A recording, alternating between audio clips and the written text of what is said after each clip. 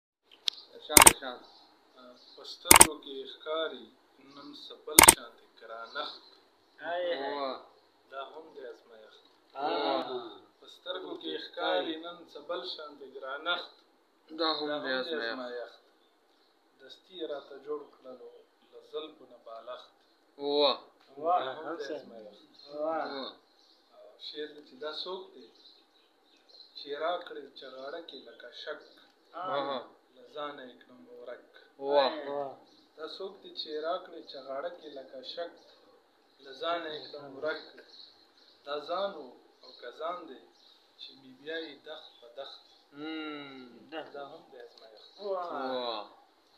شعر دی چې د ژوند په لاد یې څاټه د برکړي بس په جنګ که خان دی که ملنګ د ژوند په لاد یې څاټه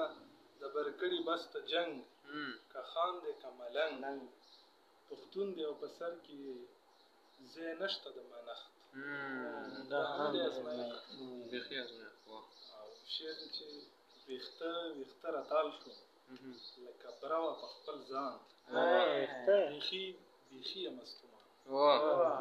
ویښته ویښته راتال شوم لکبره وه په خپل ځان بیخي یم ستومه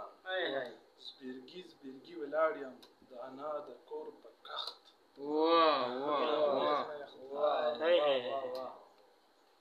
دا شعر دې بتاب ته ډالۍ ویل یې چې زما ورسره نه لګي بیخي